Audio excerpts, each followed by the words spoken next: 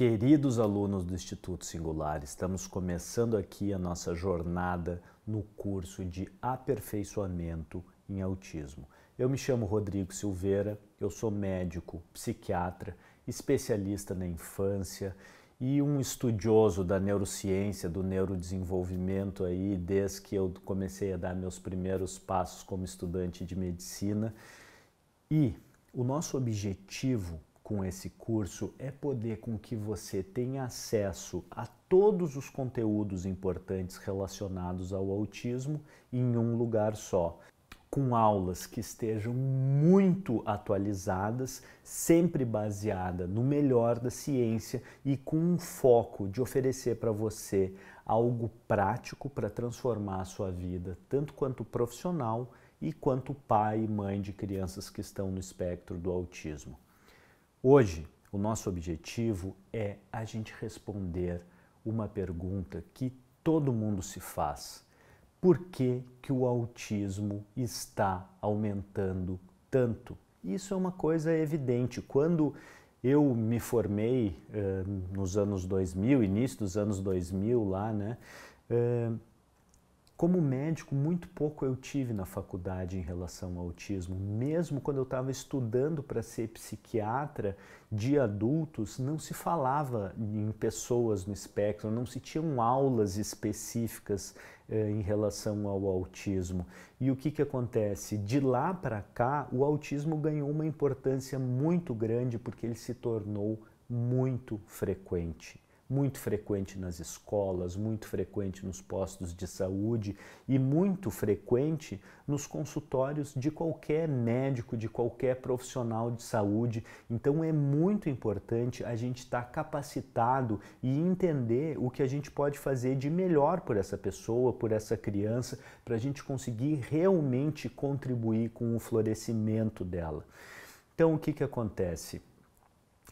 Se a gente olha os dados do CDC nos Estados Unidos, o ano passado, como mostra aí o gráfico, vocês podem ver no slide, o ano passado saiu a nova estatística de 1 para cada 36 crianças. Ou seja, se numa maternidade nasceu 36 crianças num dia, estamos falando uma maternidade bem grande, numa cidade bem grande, né? Mas se nasceu 36 crianças no dia, com certeza vai ter uma delas que vai estar dentro do espectro do autismo. E, é claro, quando a gente começa a ver essas estatísticas, a gente vai ver assim, um para cada oito crianças vão ter algum transtorno do neurodesenvolvimento, como é o caso do transtorno de déficit de atenção e hiperatividade. Então, essas questões são frequentes, importantes e elas causam muitas dificuldades para as pessoas que têm transtorno no neurodesenvolvimento de conseguir se adaptar bem na escola, de conseguir ter um aprendizado bom, de conseguir realmente eh, florescer todas as suas Potencialidades. Então, a gente, enquanto professor, a gente, enquanto profissional de saúde, a gente, como pai e mãe, a gente tem que saber o que oferecer de melhor e esse é o nosso objetivo aqui com esse curso em aprimoramento em autismo. Mas, voltando para a questão, por que aumenta tanto? Se há 20 anos atrás era um caso para cada 150 e hoje a gente tem um caso para cada 36. Quando a gente vê, olhando esse, esse próximo slide aqui, né, esse mostra esse gráfico de aumento dos casos de autismo.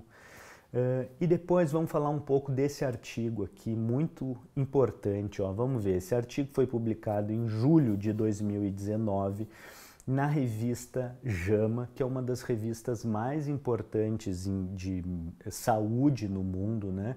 Eh, é uma revista que tem um quilate, uma verdade construída ao longo dos anos que a gente pode confiar muito nela. Uma revista muito prestigiada e publicou um estudo enorme com um N gigantesco que comparou crianças de diferentes países do mundo, norte da Europa, Estados Unidos, Brasil, diversos lugares do mundo tentando buscar as causas do autismo e eles conseguiram identificar que, independente de qual país que esteja se pesquisando, é mais ou menos estável, ou seja, a quantidade de crianças que estão nascendo dentro do espectro é estável. E isso mostra então que a gente depende muito de genes. Numa série de estudos, inclusive epidemiológicos, feitos dentro desse artigo, eles conseguiram mostrar o que?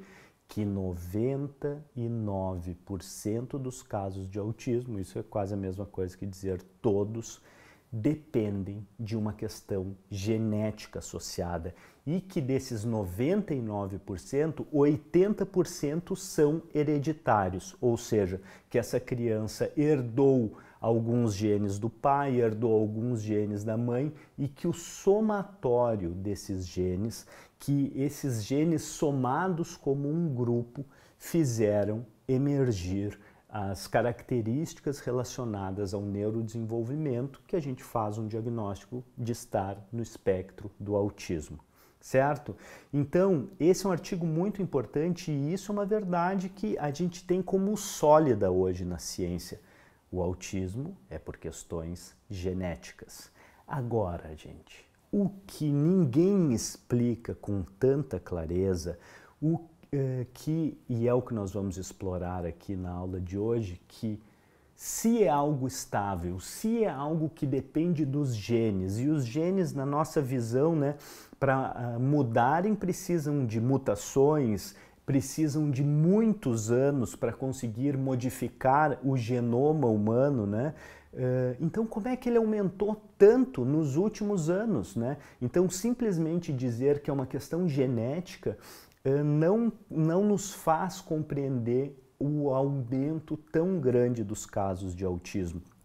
Porque os genes que a gente tem são os mesmos genes que tiveram os nossos avós, os nossos bisavós, e naquela época tinham muito menos casos.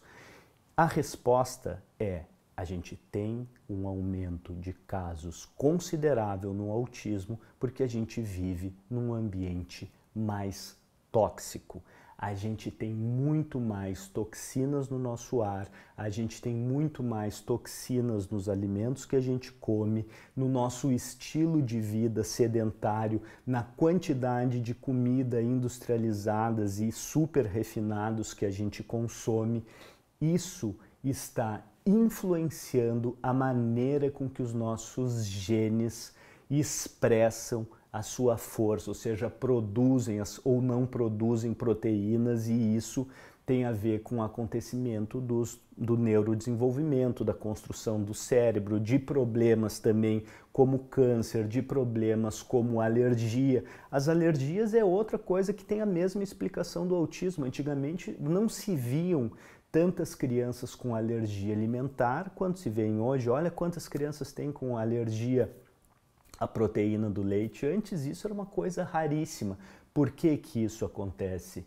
Porque a gente está vivendo num ambiente mais tóxico e isso está modificando a maneira com que os nossos genes se expressam. E a gente vai entender isso na aula de hoje, compreendendo melhor o que é epigenética.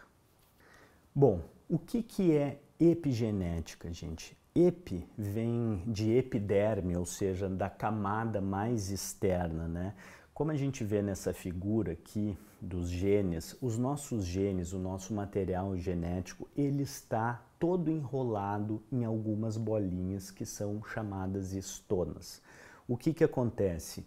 Quando o nosso gene está enrolado na estona, ele não está produzindo proteína e o gene vai expressar a sua força quando ele produz a determinada proteína que aquele gene nasceu para fabricar, certo? Então, se ele não está produzindo proteína, ele não está expressando a força daquele gene. Isso é importante a gente entender.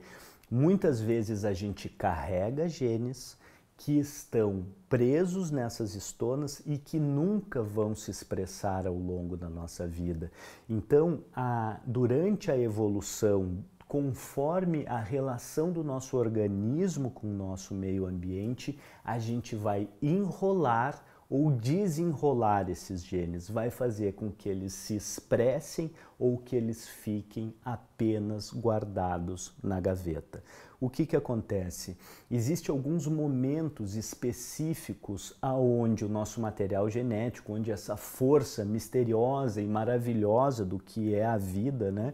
Eh, a cada geração, a cada vez que um espermatozoide encontra um óvulo e começa todo o processo de formação da vida, é nesse momento aonde com maior potencial esse óvulo fecundado vai tentar ler o ambiente ao redor dele para ver o que, que ele vai enrolar de genes e o que, que ele vai desenrolar. Então é justo nos primeiros dias de concepção, nos primeiros ali mês de concepção, onde a influência do meio ambiente é mais importante para a expressão gênica. O que, que a gente sabe com certeza, né? Qual é a importância de tomar os folatos, né? O metilfolato durante a gestação? Por que, que a gente precisa começar 90 dias antes de haver essa fecundação tomar o metilfolato para que nesse momento a quantidade de folato seja suficiente para oferecer para esse óvulo fecundado um ambiente enriquecido e estável para ele se desenvolver bem. Então, se existe tanto muito ácido fólico quanto pouco ácido fólico, mais especificamente o metilfolato, isso vai influenciar para ser um ambiente tóxico para o neurodesenvolvimento. Então a gente precisa de um balance, a gente precisa de um nível adequado de alimentação, de consumo de produtos verdes, de tomar ali as vitaminas de uma forma certa, porque essa justa medida é o que vai favorecer com que esse óvulo se desenvolva bem. Se existe toxicidade nesse momento, coisas muito conhecidas, por exemplo, se a mãe é tabagista, se está havendo uso de álcool durante esse início da concepção, isso sim vai influenciar a maneira com que os genes vão se expressar. O próprio tabaco, né, ele tem uma relação muito clara com o transtorno de déficit de atenção e hiperatividade. Então se sabe que mães que fumaram durante a gestação vão modificar a expressão gênica dessa criança e vão favorecer com que essa criança desenvolva transtorno de déficit de atenção e hiperatividade. Isso é uma coisa bem conhecida, né?